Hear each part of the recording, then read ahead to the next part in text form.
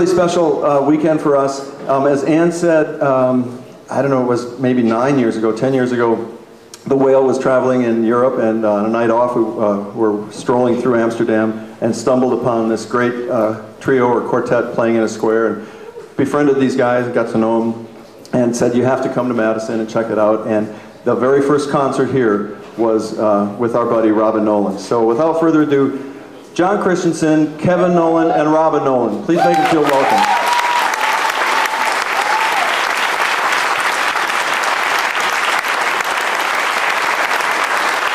I can't do the moonwalk, so don't, don't even think about it.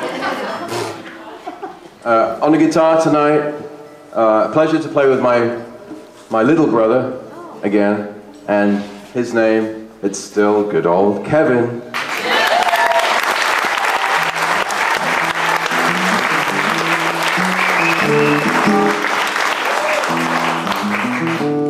It's a pleasure to play with uh, a great musician with big ears.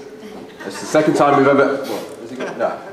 Big ears, big musical ears. It's a pleasure to play with uh, a good friend of ours called. His name is John. John.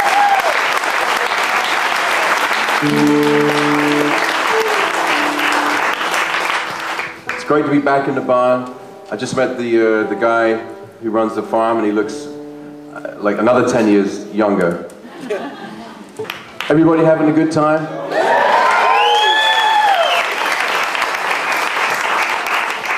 I can't hear you.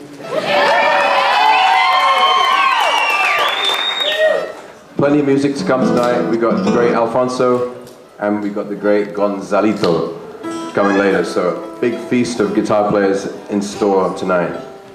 Um, we're going to play a tune now by one of my favorite bands. It's a band from Liverpool who were big in England in the 60s. And um, I'd like to dedicate this song to uh, George. This is for George Harrison. Uh, of course, he didn't write it. John and Paul wrote it, but it's, it's, it's from the Beatles.